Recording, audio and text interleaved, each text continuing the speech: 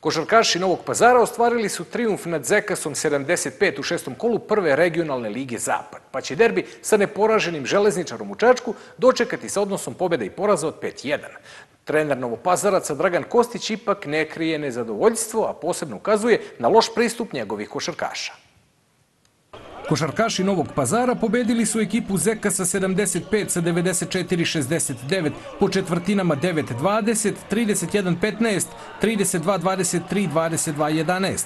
Pred oko 250 gledalaca u dvorani Pendik najefikasniji u domaćem timu bio je Lazar Radojičić sa 29 poena, a pratili su ga Tarik Brunčević sa 19 i Asmir Numanović sa 14 poena. Sem pobede, apsolutno mi se ništa nije dopalo večeras.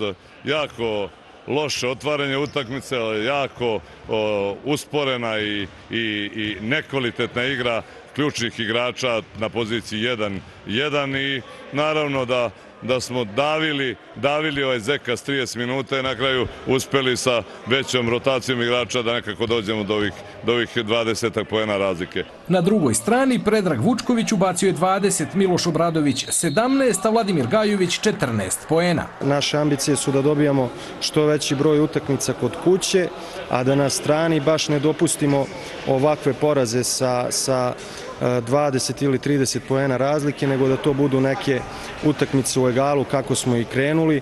Međutim, očigledno da nemamo dovoljnu svežinu, da glavni igrači nemaju dovoljnu svežinu. Uzrok toga je i što e, mi nismo baš profesionalna ekipa. U ovom kolu Zlatar je u Novoj Varoši savladao ekipu Polete iz Ratine sa 100 prema 62.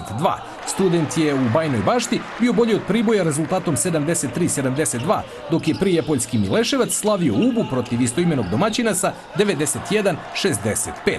Na vrhu tabeli i dalje su Zlatar i Čačanski železničar sa maksimalnih 12 bodova, sledi Novi Pazar sa 11.